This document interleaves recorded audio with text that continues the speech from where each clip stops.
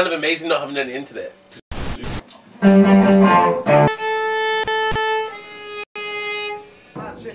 I slipped in love. One of the guitars.